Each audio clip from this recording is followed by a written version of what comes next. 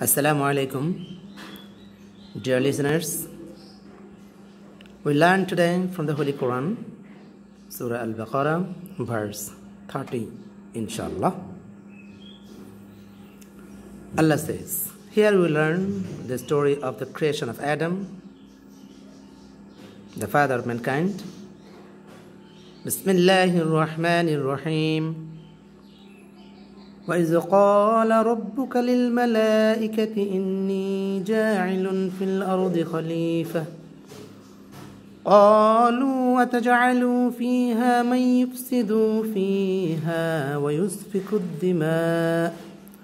ونحن نسبح بحمدك ونقدس لك.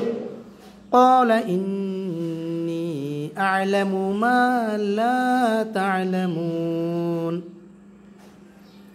Allah says, And when the Lord said unto the angels, Lo, I am about to place a viceroy in the earth, they said, Wilt thou place therein one who will do harm therein and will shed blood?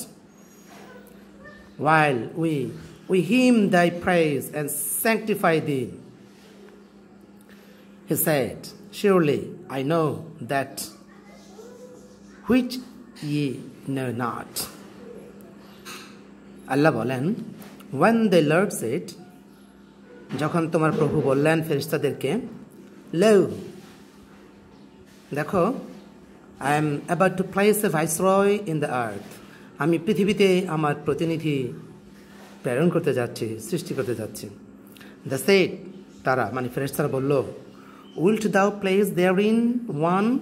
আপনি কি সেখানে এমন একজনকে রাখবেন, পাঠাবেন?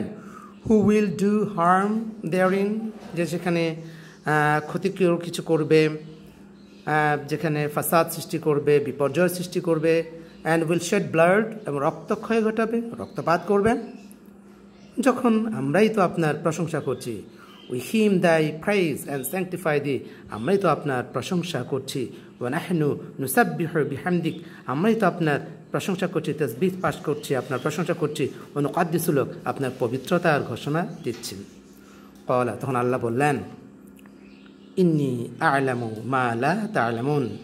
Surely I know that which ye not know I know something that you do not know আমি জানি যা তোমরা জানো না। অর্থাৎ আল্লাহ ফেরিস্তাদেরকে বলতে চাইলেন যে, না, মানুষ শুধু সেখানে ঝগড়া ফাসাদি করবে না রক্তপাতি ঘটুক, ঘটাবে না। তারা ভালো কাজ করবে, তারাও আল্লাহর প্রশংসা করবে। ধন্যবাদ সবাইকে। আসসালামু আলাইকুম রহমতুল্লাহ।